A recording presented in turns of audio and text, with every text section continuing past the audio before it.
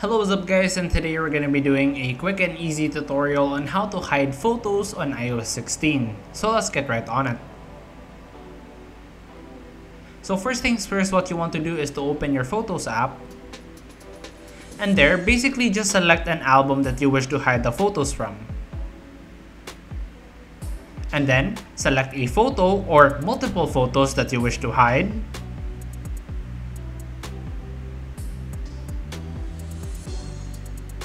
and then click on the three dot button below the screen. And then click on hide. Then click hide 7 photos.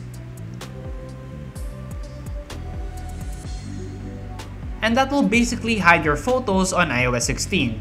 And note, the photos that you hidden can still be accessible to you and even another person if they know the password or have your Face ID. So that's basically how to hide photos on iOS 16. Thanks for watching and I hope you enjoyed this video and found the information useful to you. If so, please give me a thumbs up and subscribe to the channel. It will help me a lot. Thanks again.